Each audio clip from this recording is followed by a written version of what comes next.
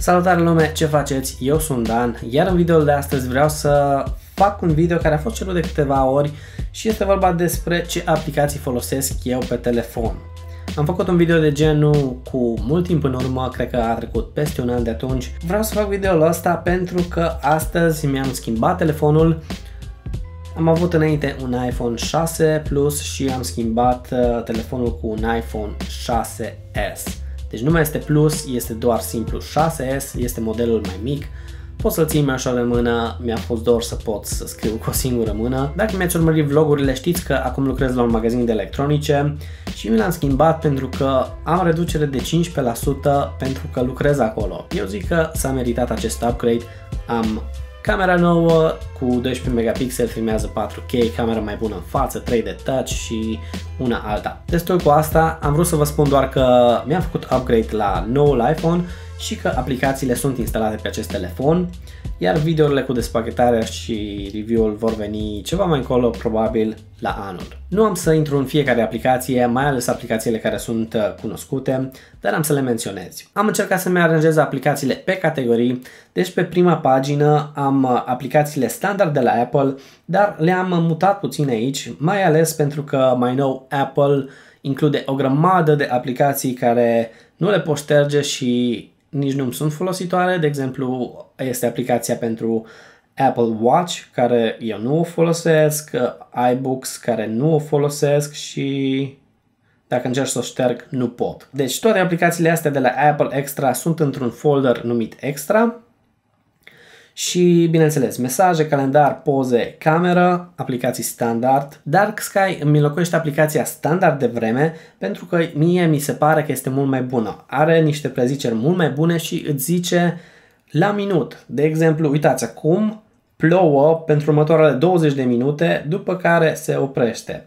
Și din nou putem vedea aici de la ce oră la ce oră plouă, cât de mari sunt posibilitățile de ploaie, Poți să vezi la fel pentru vânt, umiditate, UV, precipitații. Ne mai putem uita și la o hartă care ne arată unde sunt norii și cum se mișcă. Aplicația este foarte bună, din păcate este doar pentru America și Anglia deocamdată și cred că puteți completa un formular și dacă adună destul de voturi bănuiesc că o să se extindă în mai multe țări. Următoarea aplicație este aplicația de ceas. Aici îmi pun alarmele, Acum nu am nicio alarmă pentru că telefonul este nou. Uh, Maps, hărțile de la Apple, care nu prea le folosesc, mai am și hărțile de la Google, dar sunt ceva mai încolo. Wallet este o aplicație foarte faină. În această aplicație poți să-ți pui uh, carduri din astea de la tot felul de magazine, cum ar fi la mine aici în Anglia, Tesco, Subway, Starbucks și chestii de genul, care îți oferă un card micus din asta să aduni puncte și în loc să-l car cu tine, poate să scaneze telefonul. Mai poți să folosești această aplicație pentru Apple Pay. Uh, banca la care sunt eu încă nu s-a alăturat uh, celor de la Apple și nu suportă Apple Pay, dar au anunțat că la începutul lui 2016 vor face această mutare și vor uh, accepta Apple Pay și voi putea folosi în sfârșit uh, telefonul să plătesc la magazine. Notes, aplicație să iau notițe, Reminders, aplicație să nu uit chestii, poți face liste de cumpărături și chestii de genul. FaceTime este un fel de Skype, dar funcționează doar între device-urile Apple. De exemplu, și prietena mea și părinții mei au uh, telefoane Apple și noi vorbim pe FaceTime în loc de a vorbi pe Skype. Este ca și cum ai suna normal, doar că folosește internetul. Remote uh, este o telecomandă pentru laptop, pentru muzica de la laptop sau pentru Apple TV. News este o aplicație nouă de la Apple. Pentru știri poți să adaugi diferite surse, are niște surse foarte bune, îmi place până acum. Health este o aplicație care folosește senzorul integrat uh, M9 care măsoară pași, distanță, altitudine, câte scări ai urcat și chestii de genul. Uh, iTunes Store pentru a cumpăra muzică, Apple Store pentru a cumpăra aplicații, calculator. Extra este folderul despre care am vorbit mai devreme cu toate aplicațiile care nu le prea folosesc, dar unele sunt folositoare ca și Find My iPhone sau Voice Memo, setări. Iar aici jos am uh, aplicațiile folosite cel mai des care rămân acolo pe orice pagină sunt telefon, Safari, care este browserul de internet, mail și muzică. Pe a doua pagină am încercat să-mi aranjez rețelele sociale uh, aplicații pentru cumpărături uh, și entertainment, să zic așa. Începem de sus, Facebook Messenger, aplicații care le-ați folosit și voi bănuiați și sunt cunoscute. Pages este tot o aplicație de la Facebook și această aplicație îmi permite să controlez pagina mea uh, Marius Dantite, pagina publică, deci nu profilul meu personal, ci pagina uh, unde puteți să îmi dați like. Aici pot vedea ce like-uri am primit, comenturi și tot aici pot vorbi cu voi dacă îmi trimiteți un mesaj. Instagram, YouTube și Studio. Studio din nou este o aplicație care merge bine cu aplicația YouTube, este tot de la Google și aici pot să văd uh, videourile care le-am uploadat, pot să văd câte vizualizări am avut la ele, câte comentarii am primit, câte like-uri și este foarte bună pentru a monitoriza uh, cum merge canalul meu. Twitter și Vine. Vine nu îl folosesc așa de des, dar din când în când mă mai uit la niște videouri de acolo. Dacă nu știți, Vine este o aplicație care uh, îți permite să înregistrezi videouri de 6 secunde. Unii fac videouri amuzante, alții videouri creative, poți găsi tot felul de clipuri acolo. În continuare, câteva aplicații pentru cumpărături. eBay, unde poți să cauți produse și să le cumperi, dar poți să și vând produse. Amazon, din nou, cumpăr produse de acolo, au tot felul de chestii, de la A la Z. PayPal, uh, folosesc PayPal pentru eBay, deci dacă cumpăr ceva, de obicei cumpăr prin PayPal și dacă vând ceva, primesc banii pe PayPal și uh, aplicația de la banca mea unde pot să văd câți bani am în cont, pot să transfer bani și chestii de genul. Mai departe am aplicația de știri de la Yahoo, se numește News Digest, foarte simplă de folosit, are un design foarte fain și mi se pare că îți prezintă cele mai relevante știri în fiecare zi.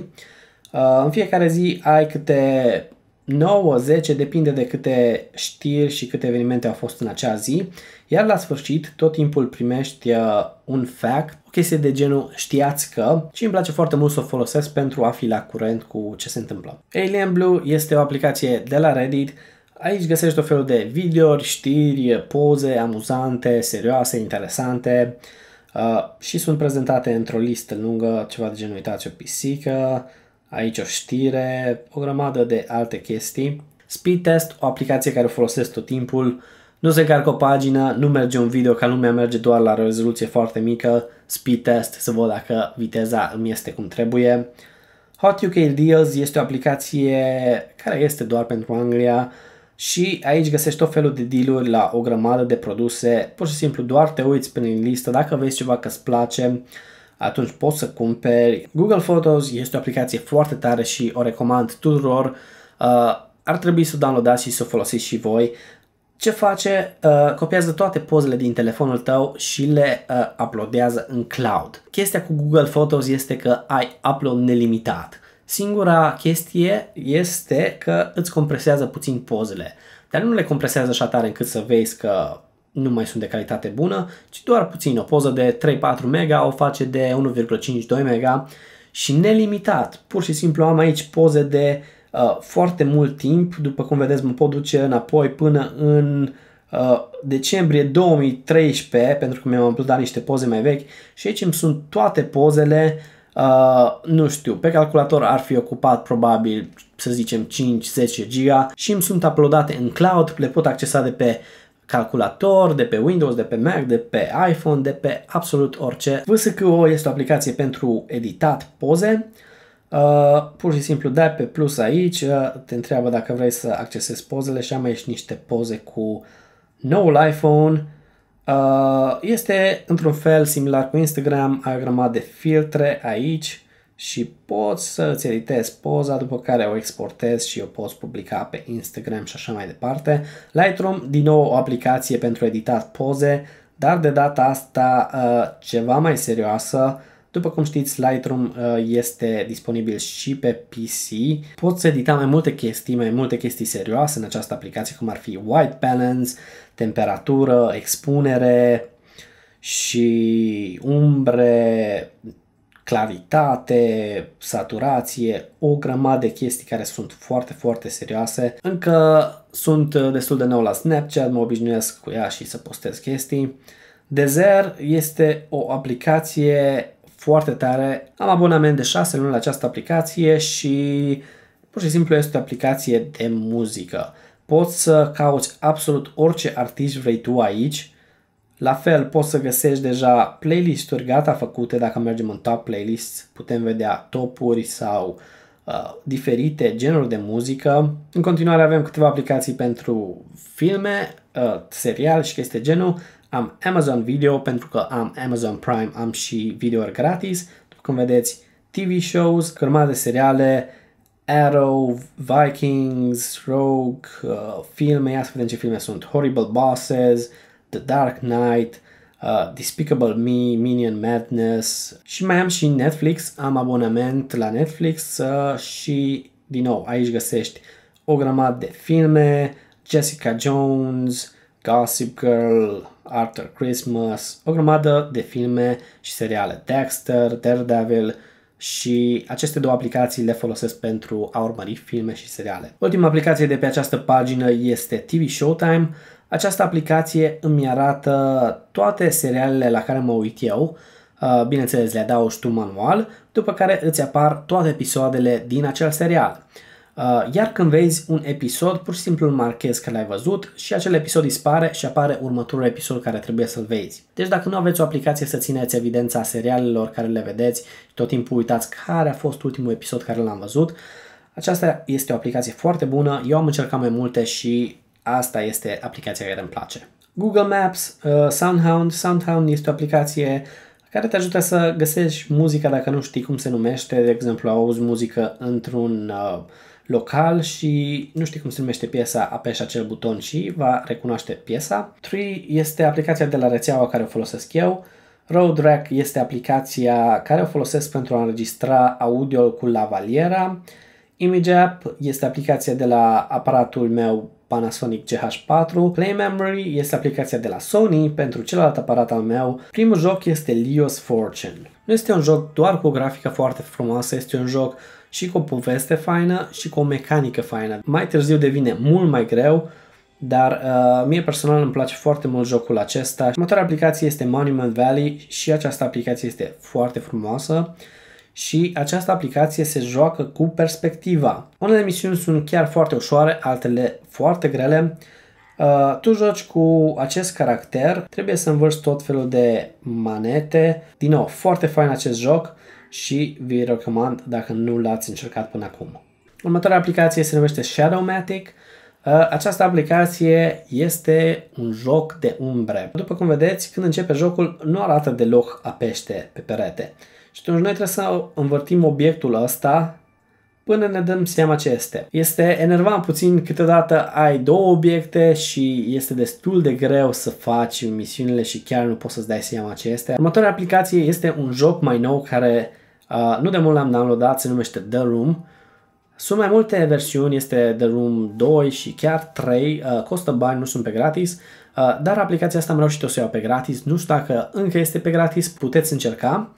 Și după cum vedeți, este un fel de investigare. Am jucat primul nivel, dar din păcate mi-a început jocul de la început uh, când mi-am reinstalat telefonul. Tot trebuie să cauți, să găsești diferite chestii și descoperi povestea. Este o aplicație foarte faină. Rayman Run și Rayman Fiesta Amândouă sunt cam aceeași chestie, doar cu teme diferite. Jocul ăsta eu l-am jucat când eram copil mic uh, pe PC și este destul de ușor de jucat pe telefon, pur și simplu asta fuge, trebuie să colectezi toate chestiile astea galbene și arată ceva de genul. Are grafică faină, uh, câteodată comenzile nu funcționează prea bine, dar majoritatea timpului merg uh, bine și este destul de amuzant.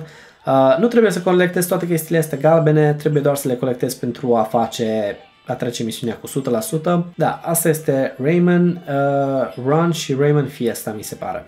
Cut the Rope, uh, bineînțeles, uh, jocul ăsta bănesc că ați auzit toți de el, dar are o grămadă de versiuni, Cut the Rope 1, 2, tra- Time Travel, ăsta este Time Travel, eu le-am jucat și pe restul, dar majoritatea le-am terminat. Time Travel este uh, jucat cu două bomboane, este foarte interesant, hai să facem misiunea a doua să vă arăt puțin cum arată. După cum vedeți, sunt două caractere și două bomboane, tăiem asta și trebuie să mănânce ambele bomboane pentru a trece mai departe. Iar ultimul joc se numește Duet. Uh, acest joc este din nou uh, foarte simplu, dar este complicat în același timp. Trebuie să ții aceste două bile să nu se lovească de obiectele care vin înspre tine. Dar mai târziu prinde viteză foarte mare și este mai greu, dar ceva de genul arată și așa se joacă. În ultimul rând mai vreau să menționez un joc care am uitat să-l instalez. Este vorba despre Alto.